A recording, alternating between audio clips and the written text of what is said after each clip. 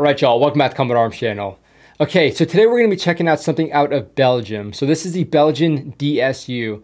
Now, they seem very similar to like the Dutch DSI and other sort of counter-terror police units that we've seen. But generally when we talk about those, we see something that looks a little bit different, whether it be a piece of equipment that other police aren't utilizing or different tactics or sort of like the crossover between the police and military. So I wanna see how the Belgian DSU do it compared to a lot of the other units that we've checked out. So this was recommended to me a lot, so I'm finally glad I'm able to check out a cool video. This one seems pretty good. It's about six and a half minutes long, but it seems to provide some pretty good information about the DSU. So yeah, let's check it out. So I think this is from like their official YouTube page too, which kind of helps. Director of Special Units. That sounds like something that'd be in charge of like special police. Damn, this is this is well done.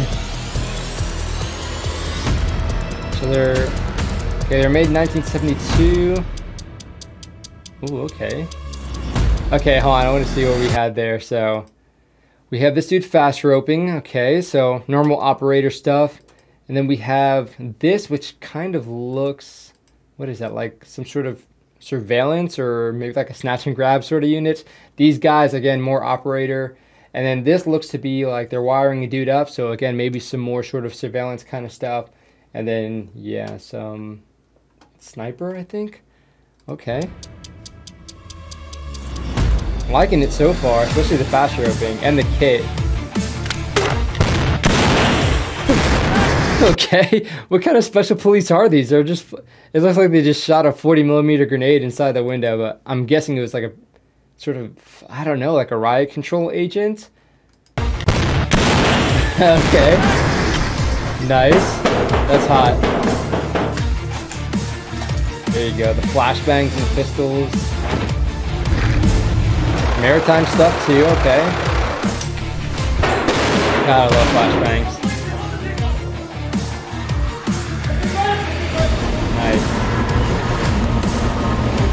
Yep, there's Jacob's ladders that are, what the heck was that?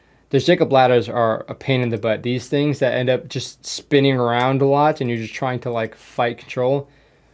What am I looking at though? So it looks like this is some sort of like rescue ship. So it looks like it's got like small crafts and whatnot and it's orange. But why does it, it looks like the whole, the bottom of like an actual ship that just got like cut off and made into something else. It looks really weird.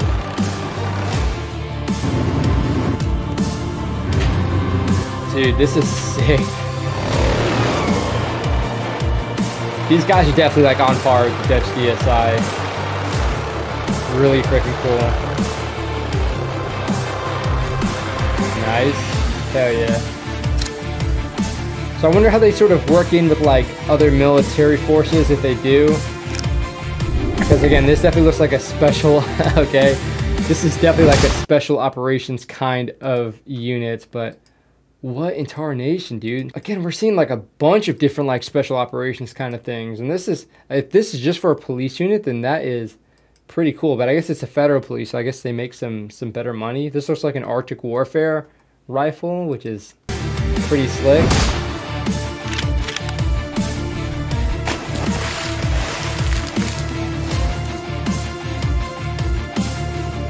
Then, of course, you gotta get the lasers in. That's awesome. Okay. No way he's shooting from the back of that. That's cool. Must be impossible to hit anything though.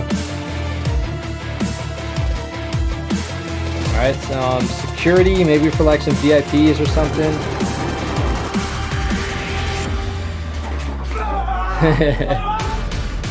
I wonder how high that dog jumped to get in there. Oh man, that's like gun ASMR. Okay, technical supports. Nice, we're seeing all the little job fields too. Okay, so these are, I guess, like the cyber kind of guys, UAV operators. Nice. That's cool. That's good attention to detail there. Yeah, so they're rigging up some surveillance equipment. So these are the technical support guys. Damn.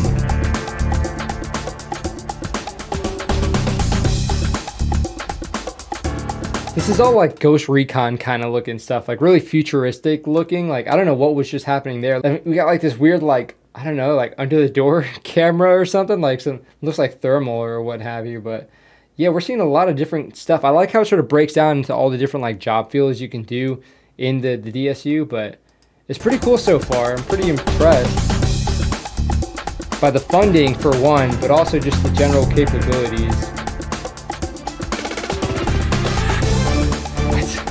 These are all the weird like micro technology kind of dudes and the cyber stuff. Interesting. This is like something you see out of like an intelligence agency. So I wonder if they're about like on par with the FBI.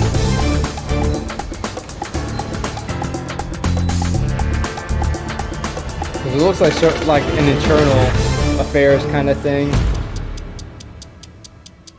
Hey, the arrest units, okay. Dudes who drive the vehicles right in front of yours, block you off, and then come out at gunpoint. He's got like a, a marker too. That's considerate. Hey, yeah, there you go, the plainclothes guys. That's sick. okay.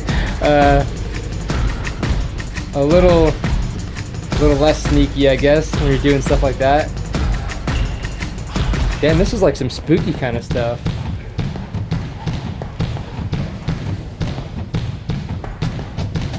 Hey, the CQB with the plain clothes.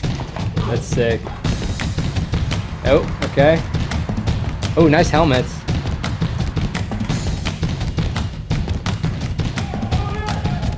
Yeah, these guys must be important with the amount of equipment and stuff they're getting. Oh, of course. Why wouldn't you bring a car inside of a shooting range?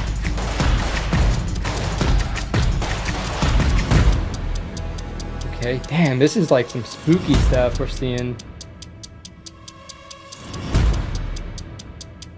Oh, okay.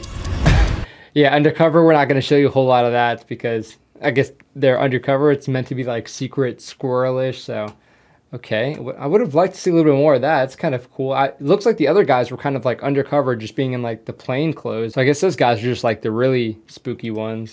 Goedemiddag iedereen, bonjour tout le monde. Wij draaien vandaag in dossier B. Diane. C'est un dossier de trafic d'armes pour le PJF de Bruxelles. Onze target well made, though, I gotta say. Dirk. Dirk devrait avoir un contact dans le courant de la soirée. Hmm. On ne sait pas encore I don't know. ni avec qui. yeah, here we go. The On surveillance. va faire un pick-up autour de son adresse. Nice.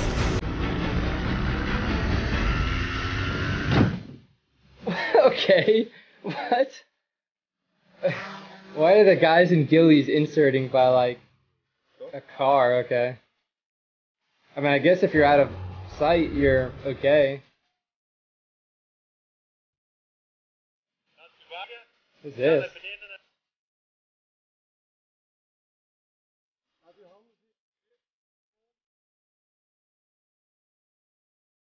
Huh.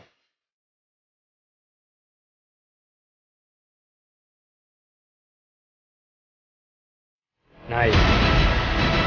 Of course, you gotta get some more cool stuff in at the end. What is he wearing like gold foil? My gosh. I really hope this music doesn't get uh, copyright claimed. So if you guys end up hearing like not a lot of music or not a lot of sound, that's probably what happened there. Definitely an intense video, but I like how it showed all the different jobs and also the different kind of specialties. So with like the technical support, you saw the surveillance sort of rigging at the same time. You saw like the weird micro robotics kind of stuff. Now, this is a federal police, so I imagine they have more jurisdiction, more authorization to do a lot more stuff. So they're probably going to get better funding than smaller police units. But I'm not sure if Belgium even has like smaller police units or if it just has a federal police. But yeah, they definitely seem like they're they're kind of like mirroring what the FBI would look like over here in the States as far as like all the different technical stuff. You had the surveillance, but then you also have like the heavy hitters as far as like in FBI, you have the HRT, the hostage rescue team, and we definitely saw those kinds of guys. But of course, they have like this the plainclothes dudes who are in charge of the arrest, and then also those spooky undercover people, which I imagine that's kind of like maybe some sort of intelligence kind of function. Imagine with a police unit like this, they probably have a pretty serious intelligence. So I imagine it's going to be an internal intelligence agency, or it might be another intelligence agency that Belgium has that's sort of supporting these guys. But yeah, they seem pretty all encompassing. Definitely a little bit different from what we've seen with other like sort of counter-terror police units because this is again there's a lot more going into it as far as like those supporting elements and also the different capabilities generally you just see like heavy hitters like the counter-terror dudes are usually the guys that are going to be going in and taking out the gunmen but we saw a lot more as far as the surveillance aspect and particular people doing the arrest how they do the arrest definitely looked a little bit different but a very solid recommendation keep those cool recommendations coming because Again, there are a lot of very badass units out there that we aren't savvy of until you guys recommend it, like the Belgian DSU, the Dutch DSI, even the UK's CTSFO. Some very cool folk out there doing some pretty good work. So keep the cool recommendations coming. You can throw it down below in the comments section or you can head over to the Discord and recommend them there. Also, if you sort of want to jump the line with recommendations, just recommend a video with like dudes wearing like really cool gray kit, throwing flashbangs and shooting stuff a lot because I'll probably end up reacting to that first because it's just a cool aesthetic. But this is a very cool video. Keep all the recommendations coming. Thank you guys again for watching. That is it for this video. I'll see you on the next one.